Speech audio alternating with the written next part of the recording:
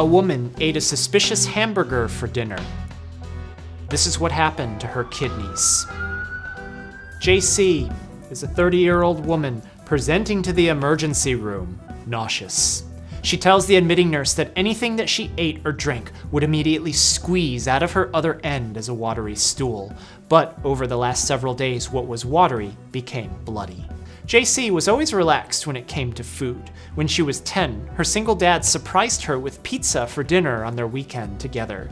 As the night went on, they got tired from playing video games and fell asleep on the couch. Dad didn't know how to cook, so in the morning, they ate the pizza that was left out on the table for breakfast. Then they had it for lunch, and then dinner again as it sat out on the table the entire day. In Dad's mind, pizza's salty, and you know, it wasn't that long ago that humans used salt on their food to preserve it because they didn't have refrigerators. If salty was good enough for them, it's good enough for us, he thought. JC and Dad would eat the pizza again for breakfast, lunch, and dinner on Sunday as it had been left out for 36 hours. Dad told his daughter, Don't let people scare you. There's no reason to be overprotective about food. It all comes out the same end. He'd pack it for her for lunch on Monday, and everything would be great.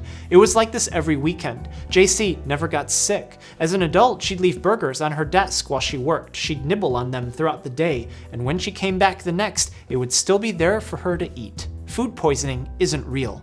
I just have my dad's good genetics, she thought. One day, JC made a burger for lunch. She had recently heard on the news about a recent bacterial outbreak on lettuce, similar to the kind that she was putting on this burger, but food poisoning's a sham. How many people is this gonna affect? 10? Who cares? As she nibbled on it while doing work at home. It was getting late. She fell asleep at her desk, and when she suddenly woke up at 3 a.m., she felt hungry.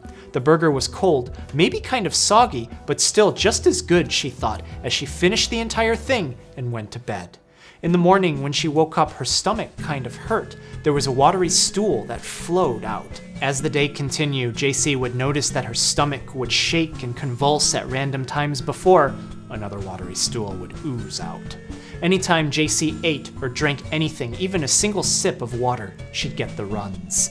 Over the next few days, JC kept feeling worse. That burger was kind of suspicious, she thought, but there's no way. This doesn't happen. I've done worse before, and nothing happened then, so nothing is happening now, she thought.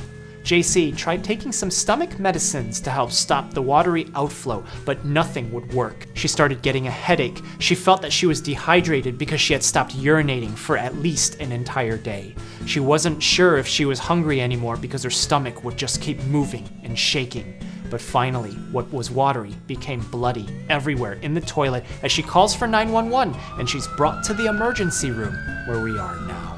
At examination, doctors noticed that JC's skin was kind of discolored. She was clutching her stomach in pain. When the medical team asked her for a urine sample, she told them that she couldn't remember the last time that she urinated. JC was dehydrated because of all the explosive watery stools exiting her body, but a blood test finds that wastes that are supposed to be filtered by her kidneys were floating around in her blood at levels several times the upper limit of normal.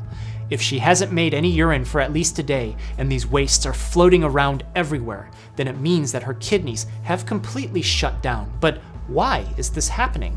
Well, there's a little basic human physiology to be known here. In an average human, the kidneys filter 170 liters of blood daily. That's 85 2 liter soda bottles.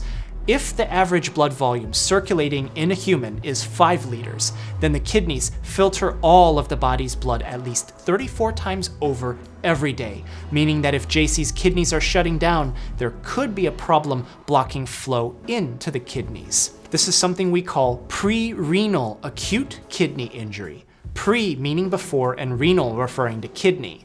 This could make sense because she's dehydrated. That would cause a low volume of blood and fluid going to her kidneys. But it seems like a lot more is happening because hours after JC is rehydrated, she still isn't making any urine. The medical team orders more blood tests and finds that JC has anemia. An meaning without, and emia meaning presence of blood. For some reason, there's less red blood cells than there should be, but why? Nutrient deficiencies can cause less red blood cells to be made, but JC seems to be okay there. It could be that her blood cells are getting broken up and smashed to pieces for some reason, but If that's happening, then contents of those red blood cells should be floating around, and the blood test finds the contents of those red blood cells are floating around. Looking at her blood underneath a microscope finds fragments of shattered blood cells, meaning that JC has hemolytic anemia. Hemo meaning blood, and lytic from lysis meaning a breaking down of. An absence of blood because of blood cells getting destroyed and smashed, bringing us back to JC's kidney injury. Inside the kidneys is a network of vessels that are specialized for handling all of the wastes in the blood, so that those wastes can be put in the urine and removed from the body. If her kidney injury isn't because of something pre-renal, because she was rehydrated and still didn't make any urine afterwards, then it means that something could be failing inside her kidneys. But what could it be? When she presented to the emergency room, the medical team collected a stool sample so that they could grow the bacteria in it. The watery stools, becoming bloody, hinted what could be happening.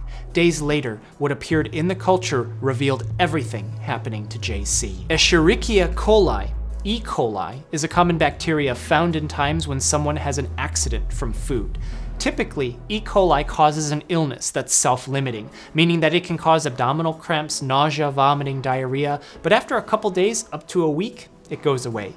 E. coli doesn't usually cause the kidneys to completely shut down, but because JC's stool culture grew E. coli, it's there, it's causing her illness, and it means that she doesn't have a usual strain of it, but a special one called E. coli 0157H7, also known as Shiga toxin producing E. coli. As the bacteria is consumed by mouth, it goes into the gut, like how everything does. Bacteria is normal and everywhere in the gut, so that's not going to be a problem. This particular E. coli sticks to the surface of the intestines and then starts secreting its toxin, releasing it everywhere into the lumen, or the hole of the intestines. Shiga toxin is naturally occurring. It's a protein. It happens to be in the same family of proteins as ricin, another toxin naturally occurring in some beans that's become notorious in the news, used nefariously in high profile cases. Inside the intestines, Shiga toxin binds to the surface of the cells where it's let inside. As it floats around, it locks the cell and stops all normal activity. Structures and proteins that the cells need to use and produce can no longer be made as the cells start to die.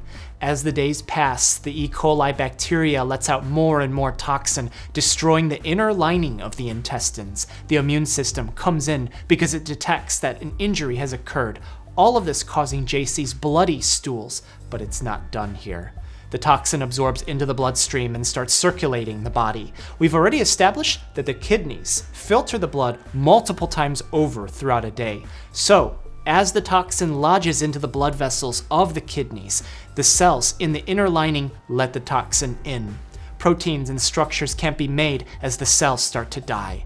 The immune system detects this injury too, but the lumen of a kidney blood vessel is smaller than the lumen of the intestines, and little blood clots lodge in, trying to protect the kidney and respond to the vascular insult, but instead, blood flow inside the kidney is blocked, shutting it down. As blood tries to flow through, the red cells crush up and smash against the clots, causing hemolytic anemia. But where did this Shiga toxin producing E. coli come from? At this finding, the medical team contacted the state health authority. E. coli 0157 is the bacteria that was found on contaminated romaine lettuce. As communication between the hospital and the local Center for Disease Control was established, a history on JC revealed that the romaine lettuce that she put and ate on her burger was from an infected lot, and the lettuce was produced in the region implicated in this bacterial outbreak. E. coli outbreaks happen, and illness, in the worst cases, can end in tragedy. Almost every year, the CDC in the United States reports a new outbreak. The bacteria is known to live inside the guts of cows and goats, and in certain places, it's not implausible that what becomes steaks and burgers comes into direct or indirect contact with the bacteria on the slaughterhouse floor, or somehow water comes into contact and then it's used to wash over vegetables like romaine lettuce, or however that process works. No food is ever going to be 100% clean. Setting up a robust system amongst all of the people who will handle any kind of food that will be eaten is best, but this was a freak accident. In cases where you're cooking food, if it's burgers, more than 160 degrees Fahrenheit. If it's steak, you'll want 145 Fahrenheit for at least three minutes. These are when you're cooking for yourself. Don't brush off these kinds of warnings when they come out. I know the chances of it happening specifically to you might be low, depending, but it's going to happen to someone. That's about the most that any one person can do. At restaurants, when E. coli outbreaks happen, it hits their business so hard that profits won't recover for several years, if they even recover at all. But in those cases, tanked sales won't bring people who are lost from the illness back. And those tanked sales can't fully restore someone's organs that have shut down from the illness, bringing us back to JC. In the hospital, the medical team knew that there is no specific treatment for Shiga toxin producing E. coli. Antibiotics can kill the bacteria, but the body, from the information that we have, appears to take care of it. Given that some antibiotics can be nephrotoxic at a time when there's an acute kidney injury made from a toxin from the bacteria, it looks like the benefit does not outweigh the risk in this particular setting, so no antibiotics were given. The team kept her hydrated and watched her closely to make sure that her other organs didn't shut down because of Shiga toxin. As the days pass, JC finally makes urine again. At discharge, her kidneys appeared to function almost as they did before she ate the suspicious burger as she was able to make a full recovery. Thanks so much for watching. Take care of yourself and be well.